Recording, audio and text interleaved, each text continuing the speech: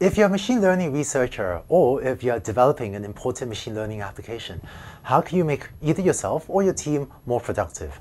One of the trends I've been seeing is that investments in computer systems broadly, um, and sometimes HPC, high performance computing in particular, is becoming increasingly important for machine learning.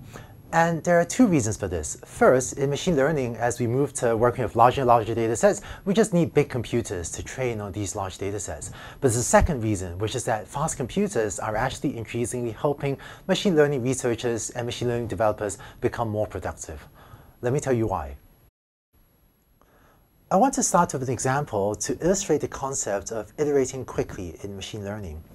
Several years ago, when some collaborators and I started to work on speech recognition, uh, we started off by saying, you know, let's let's let's try an end-to-end um, deep learning approach. So we would start off with taking an audio clip like that shown at the bottom. So this is an audio clip of someone saying maybe you know the quick brown fox jumps over the lazy dog or some phrase, and then we would uh, take this audio clip right and cut it into little snippets, and then we'd take each little snippet and feed it through you know, a neural network like that one to try to output the transcript and try to output the alphabets of what was said.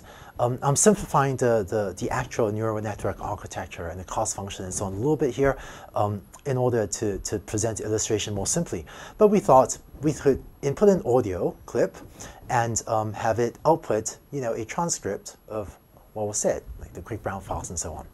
And you know what? It turned out this didn't work. Um, after running a few experiments with this type of architecture, we then realized that we had to switch to a somewhat different neural network architecture in which we took something similar, but then added um, additional forward and backward recurrence arrows. Again, I've simplified the network architecture a little bit, but to put in a um, RNN, a recurrent neural network here, to change the neural network so it gets more information forward and backward in time.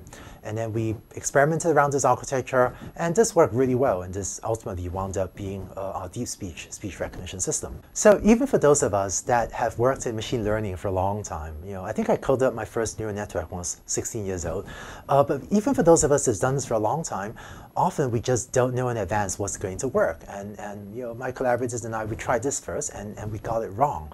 And it's only by running experiments that we could figure out a new and different architecture that worked much better. One pattern I see a lot in machine learning is that we might start off, you know, you or someone else might start off with an idea like, um, let's try this type of neural network for speech recognition. When you start off, you just don't know if it's going to work. So you have to run, you know, implement something, run an experiment.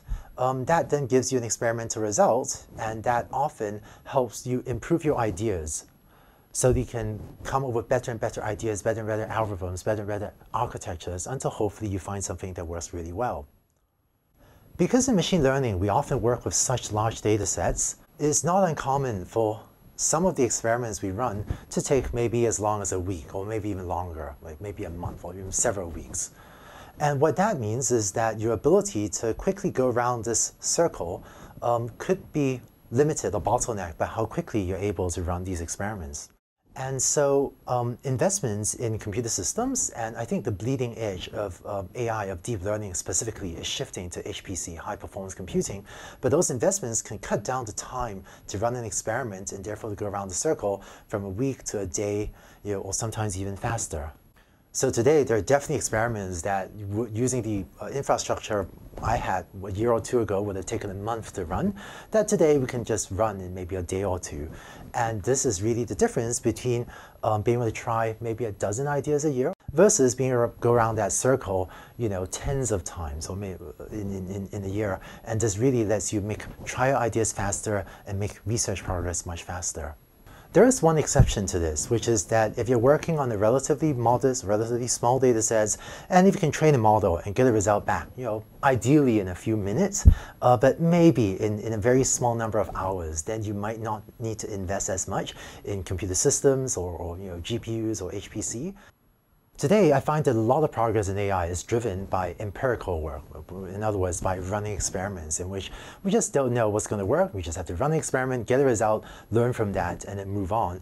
And your ability to iterate quickly um, is a common concept in Silicon Valley, but this is maybe that concept applied to machine learning. But the ability to iterating quickly really makes you much more productive as a researcher or as a research team. I do see some organizations that seem to me to be maybe underinvesting a little bit in computer systems for machine learning. And I think there are two reasons for that. Uh, one is that this is a um, relatively long-term investment in which you know you have to do a bunch of work to build up faster and faster computer systems, um, and then that makes the machine learning work more productive. And maybe a lot of our organizations uh, are still learning to get better at uh, figuring out how to make long-term rather than just short-term investments. Um, and I think the second reason is, you know, skill sets, right? Those of us that grew up doing machine learning often didn't grow up with an HPC or a computer systems background. And I think um, really maybe the two solutions to that are one, to spend some time learning this yourself, which is worth doing, uh, although it's hard. And the second thing I've often done is to partner with amazing computer systems researchers or, you know, HPC teams.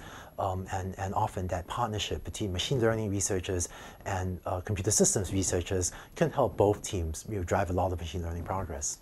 In deep learning, I've seen the bleeding edge of the field shift from CPU to GPU to cloud to most recently HPC computing.